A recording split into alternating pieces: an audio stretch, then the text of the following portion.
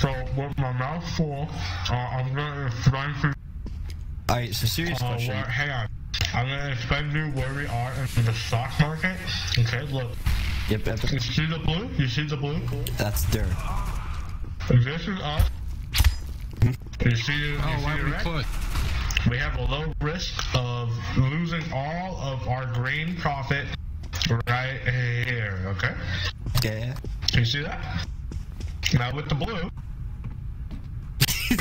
I, I thought I was being interrupted. Um, so uh, with the and no sleeping on the job. Get up.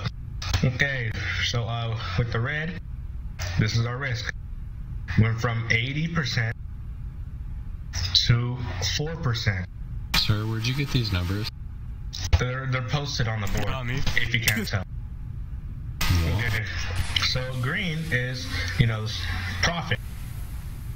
Now we went from a wow, a whopping one percent to a sixty percent. Look at that. It's low risk, high profit, and a lot of dirt. We get sixty percent. This is sixty percent, okay? And that concludes my statement. Thank you for flush. listening.